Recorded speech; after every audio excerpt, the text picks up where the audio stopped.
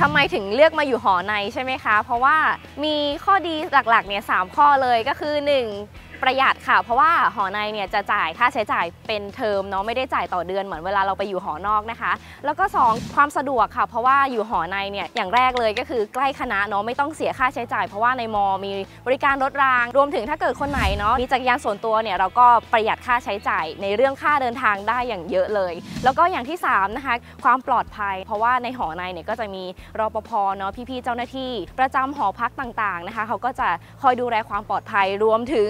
ก็จะมีการสแกนบัตรเข้าไปในหอนะคะ ถ้าเกิดคนไหนไม่ได้อยู่หอนั้นก็จะไม่สามารถเข้าไปได้เนาะ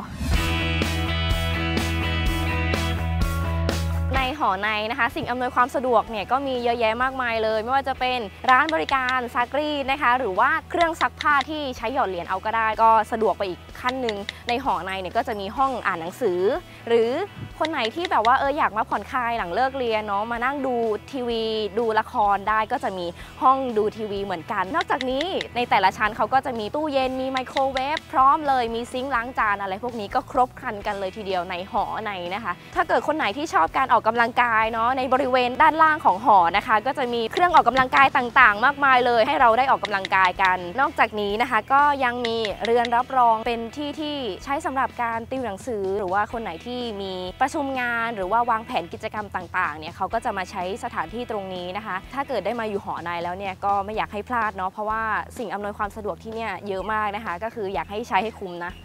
สำหรับกิจกรรมนะคะที่หอในจะจัดขึ้นหรือว่าคณะกรรมการบ้านพักมหิดลนะคะ ที่เขาจะจัดขึ้นในทุกๆ ปีเนี่ยก็จะมีกิจกรรมรับน้องเข้าบ้านนะคะ ซึ่งเป็นกิจกรรมแรกเลยที่น้องๆทุกคน ปีหนึ่งเนี่ยที่เข้ามาอยู่หอในจะได้มาร่วมกิจกรรมกันพี่ๆคณะกรรมการบ้านก็จะเป็นคนต้อนรับน้องๆเข้ามาในบ้าน ซึ่ง ขอบอกเลยว่าแต่ละกิจกรรมเนี่ยไม่ธรรมดาทีเดียว ก็จะมีกิจกรรมฉายหนังกลางแปลงเนาะเป็น signature ของเด็กหอในเลยก็ว่าได้ นอกจากนี้นะก็จะมีกิจกรรมบัดดี้หอนะคะบัดดี้บันเดอร์ก็เพื่อนๆที่อยู่หอในเนี่ยก็สามารถมาร่วมกิจกรรมกันได้ มาพูดคุยกันผ่านจดหมายหรือว่าผ่านสื่อใดสื่อหนึ่งนะคะแล้วก็จะมีวันเฉลยเนี่ยเพื่อนๆทุกคนที่มาเล่นด้วยกันก็จะได้พบกัน แล้วก็จะได้เพื่อนใหม่ไปด้วยนะคะ อันนี้พี่ๆคณะกรรมการหอก็เป็นคนจัดการแล้วก็จัดกิจกรรมนี้ขึ้นมาให้กับน้องๆนะคะ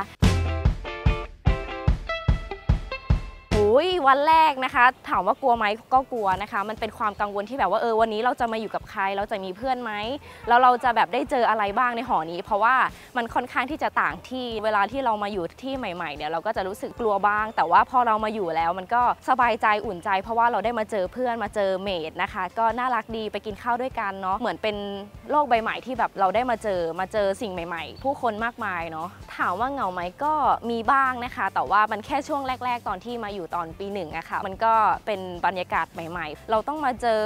เพื่อนๆมากมาย แล้วอีกอย่างหนึ่งเนี่ยเราไม่ได้กลับบ้าน คือเรียนเสร็จแล้วก็กลับมาอยู่หอ มันก็เหงาตรงที่ว่าเออเราไม่ค่อยได้เจอพ่อแม่ไม่ได้พูดคุยกันเหมือนเดิม แต่เวลาที่เหงาเนี่ยก็จะพูดคุยกับเพื่อนๆมากกว่า คือมันจะเป็นช่วงเวลาที่เราได้มาใช้เวลากับเมดได้มาพูดคุยทำให้เราอดทนมากขึ้นกับความเหงาที่มันเกิดขึ้นรอบตัวเราในช่วงเวลาที่เราต้องย้ายถิ่นมาอยู่มหาวิทยาลัย แต่ว่าถ้าถามว่ามันเหงาจนขนาดที่แบบว่าเอออยู่ไม่ได้ไหมก็ไม่เนาะเพราะว่าเพื่อนก็เยอะนะคะ มันไม่วังเวงหรือว่าไม่โดดเดี่ยวแน่นอนค่ะ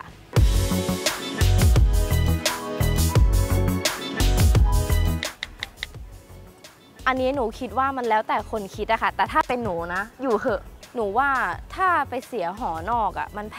งเกิน บางทีมันก็เดือนละ 5,000 6,000 ก็มีไม่รวมน้ำไฟแต่อยู่เนี่ยก็คือเสียไปเลย อย่างหนูหนูเนี่ยเทอมละ 3,000 4 เดือน น้ำไม่เสียเสียแต่ไฟก็ไม่เสียถ้าเกิดใช้ไม่ถึงค่ะ หนูว่ามันดีกว่าเยอะ แล้วอีกอย่างหนึ่งก็ปลอดภัย เพราะว่ามันจะแยกไปเลยว่าหญิงหญิงชายชายอย่างเงี้ยได้อยู่กับเพื่อนเยอะเพราะว่าหอในก็ห้องละสี่ส่วนใหญ่ ถ้าอยู่หอนอกก็อาจโอเค อยู่กับเพื่อนสนิทตัวเอง แต่แบบว่ามันจะไม่ได้เจอผู้คนที่หลากหลาย